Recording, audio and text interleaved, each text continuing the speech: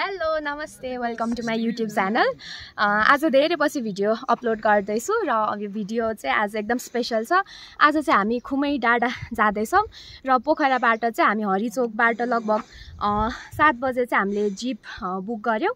हामी सँग बाटोमा अरू साथीहरू पनि भेटिनु भयो र जिप सेयरिङ गरेर अहिले चाहिँ हामी ठ्याक्क सरीपाखामा आइपुग्यौँ। अहिले सभा आठ जस्तो भएको छ र अब यहाँ माथिबाट चाहिँ हाम्रो हाइकिङ सुरु हुन्छ। यहाँ गहुँ रोपेको रहेछ। जाडो दिनमा नि होमस्टे के अरे घाउ नआउने अब यस्तै समयले यस्तै जुरायो आमा।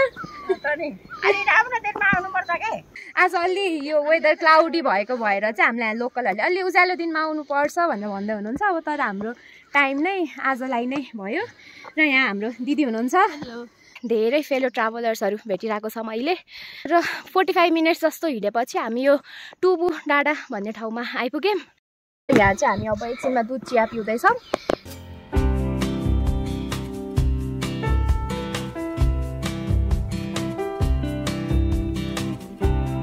Jolene said, You're a beautiful talker,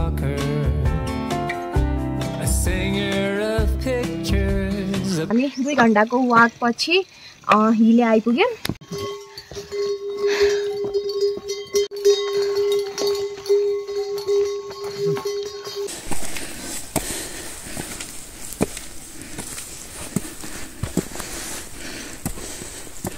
finally साढे एघार भयो र हामी चाहिँ चिचिमले भन्ने ठाउँमा आइपुग्यौँ। अब हामी चाहिँ यहाँ खाना खान्छौँ होला।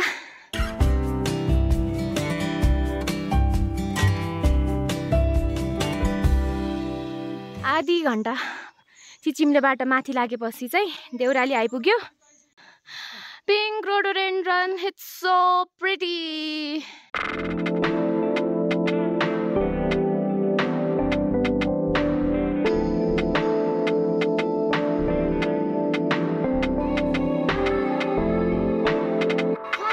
हामी खुमै डाँडा पुग्यौँ। यस्तो चिसो छ पुरै शीत परिरहेछ तप त पुरै ज्याकेट बुझिरहेछ हाम्रो आजको यात्रा त एकदमै फरक खालको थियो।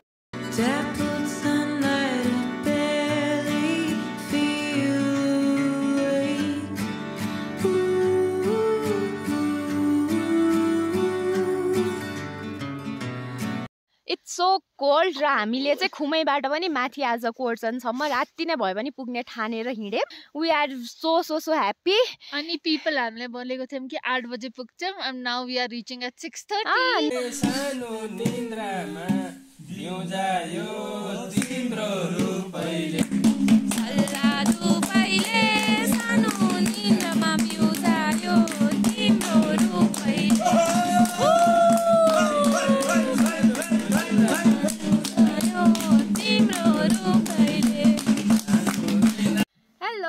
morning from Korchon hill हामी हिजो चाहिँ राति आठ बजेतिर चाहिँ हामी कोर्सन हिलमा आइपुग्यौँ।